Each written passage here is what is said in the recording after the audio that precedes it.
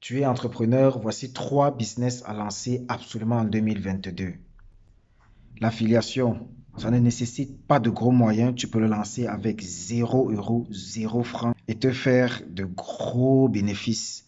Comment lancer le business de l'affiliation? Il s'agit tout simplement de mettre en relation des vendeurs de produits avec des personnes qui recherchent le même produit. Tu vas sur des sites comme 5euros.com pour ceux qui sont beaucoup plus francophones ou Fiverr. Je vais te mettre juste les liens en dessous de la vidéo.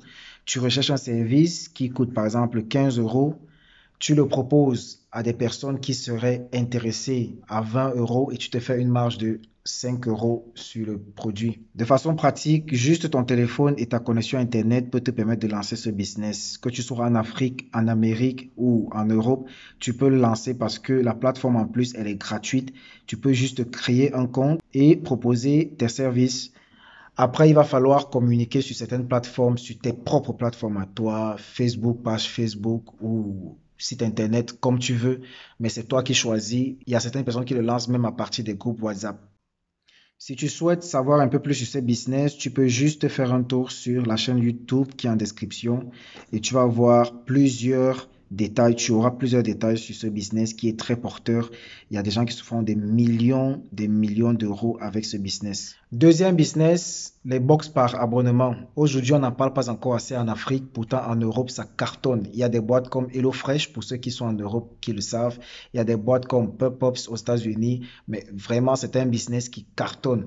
Tout ce qu'il faut faire dans ce business, c'est de proposer des services à des personnes, mais à l'abonnement. Ça fait que vous avez des clients fidèles ça fait que vous avez presque les mêmes revenus chaque mois ou bien peut-être plus en fonction du nombre d'abonnés que vous avez. Mais surtout, ça fait que vous avez des produits que vous proposez aux gens de façon récurrente. Certaines personnes font des produits alimentaires comme HelloFresh que j'ai cité tout à l'heure. Vous pourrez voir juste le lien de leur site en description. Ils proposent des repas très frais qui livrent aux personnes, à des particuliers comme à des entreprises chaque temps de midi et donc c'est un très bon business parce que vous avez un business qui est pérenne.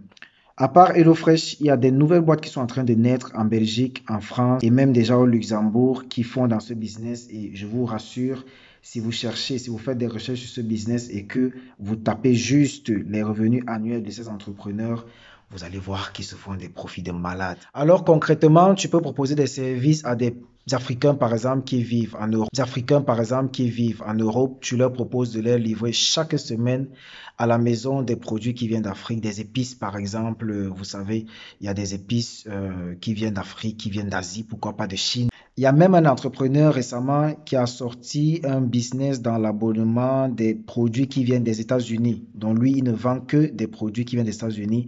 Mais ce qui est bien, c'est qu'il a une clientèle très ciblée, des expats le plus souvent. Il se fait une grosse marge parce que ça intéresse beaucoup d'expats et même des Européens, pourquoi pas. Il y a des Européens qui veulent savoir comment ça fait de manger des bonbons américains peut-être. Je suis sûr qu'il y a des personnes ici qui aimeraient bien goûter ces produits. Troisième business, c'est l'arbitrage des services. C'est un peu comme l'affiliation, mais ce n'est pas pareil parce qu'avec l'affiliation, tu vas prendre un lien que tu vas promouvoir. L'arbitrage des services est plus simple. Tu vas sur des sites comme 5 euros que j'ai cité, Fiverr ou d'autres sites encore que je peux mettre en description. Prends un service que tu vas proposer aux gens. Par contre, ce service, ce n'est pas toi qui vas le réaliser. Il peut s'agir d'un service, par exemple, dans le domaine informatique, la conception des sites web. Alors, tu vas sur la plateforme 5euros.com que j'adore. Tu crées, pourquoi pas, une page de vente et tu proposes ce service à quelqu'un. Les personnes qui vont te contacter, les entreprises, les entrepreneurs qui vont te contacter pour avoir un site internet vont certainement vouloir te confier leur projet parce que tu auras fait une belle page de vente.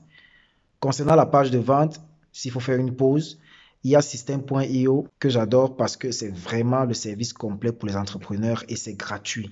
C'est gratuit. Donc, par rapport à ce business, ce que tu fais, c'est que tu vas contacter un professionnel qui fait des sites Internet. Tu vas notamment négocier le prix, par exemple, à 500 euros. D'un autre côté, tu auras ton client qui va payer le site à 1000 euros. Tu te fais 500 euros de commission. Je l'explique assez simplement pour que vous puissiez comprendre, mais pour plus de détails, vous pouvez juste cliquer dans la bio, le lien YouTube, et vous avez des vidéos complètes sur ces trois business.